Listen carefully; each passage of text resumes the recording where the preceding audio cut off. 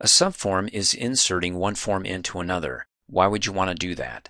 Well, here I've got my customers. I like to add another form that contains the book sales. So that way, when I come down here and navigate from one record to the next, I view not just the client, but also their corresponding orders. Now, you need to know that when you're inserting one form into another, that these tables these forms are based upon are related. Because if they're not related, then obviously this isn't going to work because we can't tie an order to a customer.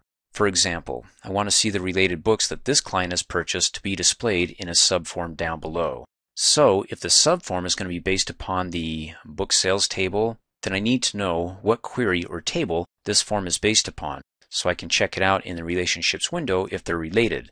Because if they're not, then we need to get them related.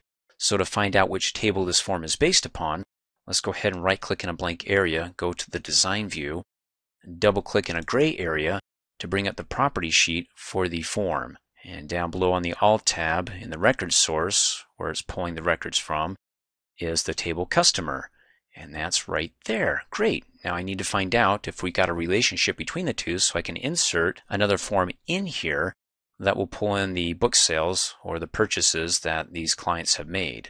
So let's come up here, click on the Database Tools tab, go to the Relationships group, click on Relationships, and there's book sales and customers. And do we have a link? Yes. Customer ID, the primary key, goes to the customer ID, the foreign key field in the book sales table. Fabu. Let's go ahead and close out of here. Now that we have a link, we can go ahead and now insert a form in here as a subform. Let's close out of the property sheet. To do that, let's come up here, click on the Design tab, go to the Controls group, click on More, and it's right there. When you hover over it, it says subform slash subreport. So not only can you insert a form into a form as a subform, you can also insert a report into another report as a subreport. But since we're working with forms, it's just going to operate on the form level as a subform. Let's go ahead and click on it and come down below. You get a plus sign, so wherever you click, it's going to add that form. But first of all, it's going to ask us a bunch of questions in this wizard. Based upon our answers, we'll get that link that we're looking for to the book sales table. So we can see the sales that we made to each client as we toggle through the client records. And it says first off, what data would you like to use for your subform or subreport? Again, just ignore that report there, it's a subform.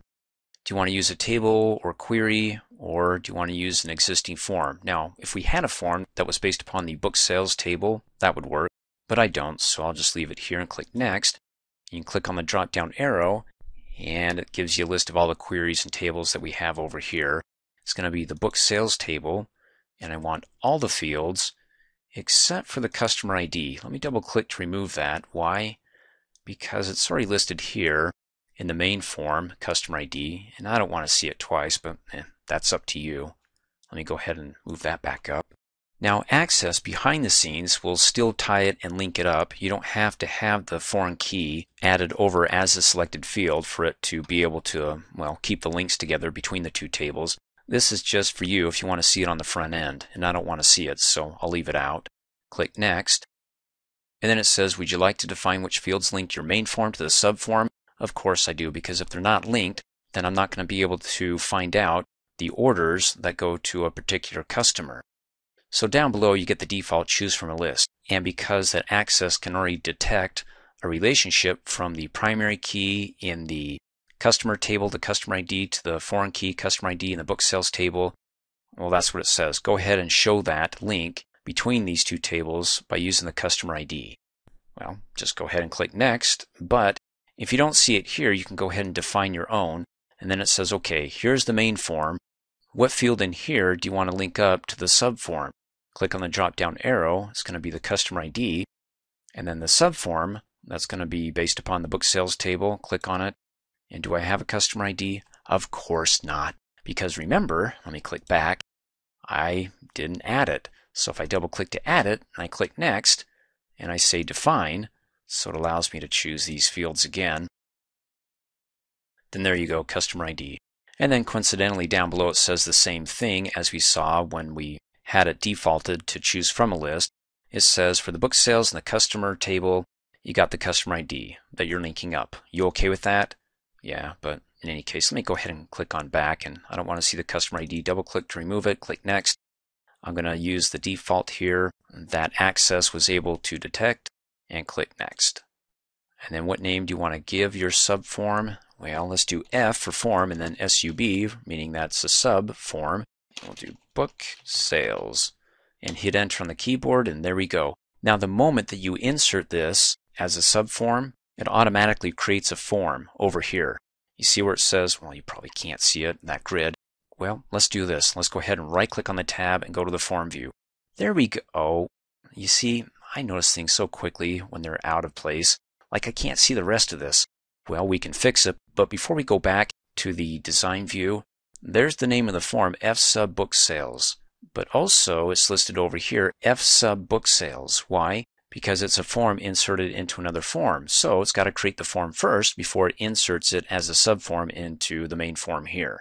So if you need to make any changes, like maybe you want to take out the part number here because when I click in it, I know the book's by title, but not by part number. So as you recall in an earlier training video, we can create a combo box and replace just a simple text box here that when I click in the combo box, it lists not only the part number, but the corresponding book titles that I can go, oh, that's the book title for this part number. In any case, if you want to go ahead and tweak it, you can do it, well, here in the design view of this form, or you can go ahead and open this up. Well, let's go ahead and do it. Double click. And there you go, the fields here, order ID, sales, part number, as you can see over here, order ID, sales date. Okay, it's cut off. Well, we'll have to take care of that, but you can go ahead. Let me close out of here. We'll come back to that just a minute. And let's just go ahead and fix this and right click in a blank area, go to the design view, and we can resize it, hover over, in this case, the left middle resizing handle, that orange box, until you can see arrows pointing in opposite directions. You can click and drag. Or if you're not good at hovering over those teeny tiny little boxes, with it selected, you can bring up the property sheet that if you can double click on the border, it'll bring it up. But if you can't get over the border where you can see a four-way arrow, then, well, you need to bring up the property sheet. You can come up here, click on the Design tab, go to the Tools group, click on Property Sheet. And you can see F sub book sales is already selected. So if you're out here and you're trying to, in any case selected, you can click on the drop down arrow. There's F sub book sales. So you can go ahead and select that. In any case, once you have it selected, you can, within the property sheet here on the All tab, change its width. If you don't want to hover over and click and drag to stretch it, maybe we can make it 6 hit enter and then close out and okay let's hover over the border click and drag and move that over okay let's go ahead and take a look at it in fact let me hover over that gray box for the label and move it over to the left and let's right click on the tab go to the form view ah that's better now I can see all the fields as we saw well let me go ahead and save this first as we saw in the F sub book sales form double click Order ID, sales date, part number, book sold. Again, order ID, sales date, part number, book sold. So like I said, you can come back to the form and right click on that and go to the design view. And you can go ahead and delete the part number here and then come up here on the design tab, go to the controls group as we did in an earlier training video and replace the text box with a combo box. On that when I go ahead and click in that field, it drops it down and it lists the part number and the corresponding book titles. And so when you update it in here, it'll also update it, oh, closed out of both of them, in the customer main form here in that subform. So it'll update it there. Or you can do it here, right click, go to the design view, and here we have to scroll down and delete it here. And then if I go ahead and substitute that as a combo box and save it, what I do in here will update the form here. So that's a main form that when it's inserted into another is a subform. And so remember, when you do that subform subreport, it's got to create it first before it can go ahead and insert it. And so it does two things at once. Creates the form first and then it inserts it. And there we go. So when you right click, go back to the form view and I go from one record to the next, click on next, next. You can see it goes from one customer to the next, but it also updates and shows their corresponding orders they made. So Happy Town Play World had a total of 11 orders and this inner record selection is for that form. So the any, I can go in and navigate from one order to the next. And then the Audi, of course, moves me to the next customer and their corresponding orders.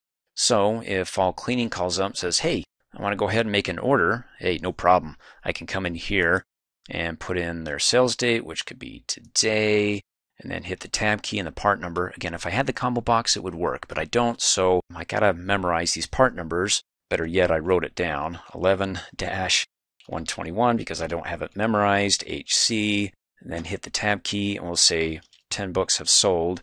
And let's go ahead and do Shift Enter.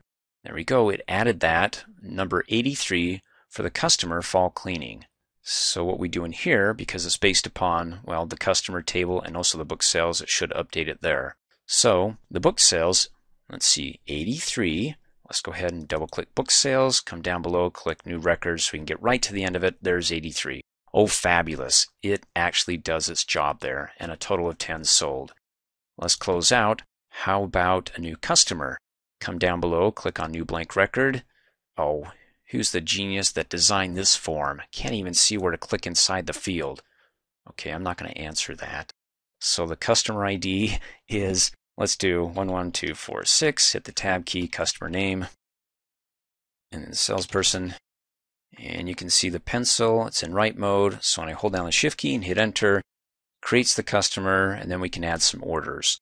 So let's make sure that this customer was created which it is. Remember, we based it upon the customer table here, Good Monkeys. Let's double click. Is Good Monkeys there? Survey says, yes, Good Monkeys. And you can see we don't have the address, city, state, because why? I didn't add those fields here, so you want to keep that in mind. If you want those fields, maybe you want to add them later, but in any case, you could be missing some data, so build your forms correctly, unless you got a separate form that you want to be able to, again, add that later their address and phone number, and any other information that you'd like.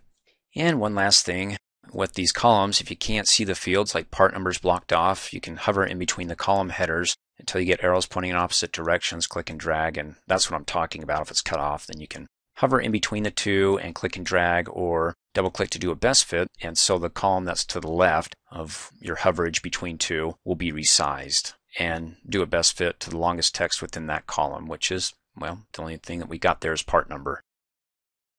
Thanks for watching. Hey, as a quick reminder, if you like my video, please give it a thumbs up. You can also click on me and subscribe to my channel to get notified of the latest videos. And for great specials on my products, please see the description below this video.